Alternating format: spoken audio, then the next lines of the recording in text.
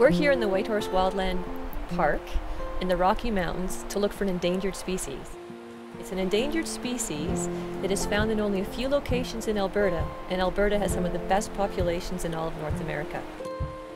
That species is a moss called the Porsild's Bryum.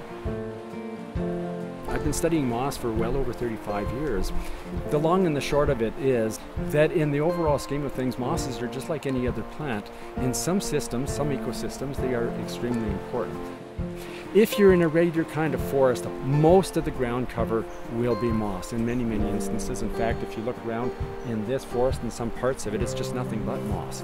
In those instances, mosses do sort of the same kinds of things. They, they will absorb water and hold water and release it very, very slowly. In Canada, we have uh, something like uh, 1,165 different kinds of moss, different species of moss. In Alberta, there's more than 550 different kinds. So the question is, well, what do these guys do? Let's start at the basics. Let's start with what mosses are. They're a living organism.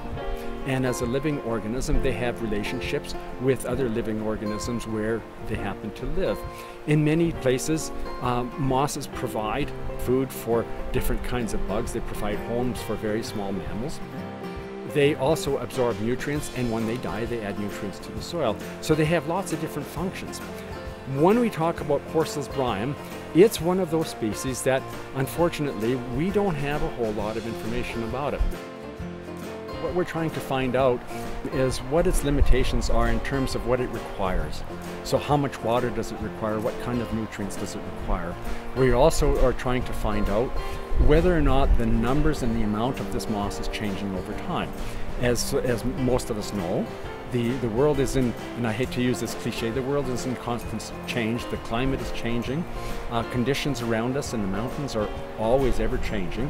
Uh, so we're trying to discover first what that moss requires so that we can use that information to predict where it's going to be found because uh, there's still a lot of places that we haven't actually looked for it. And secondly, the monitoring part is keeping track of it over time.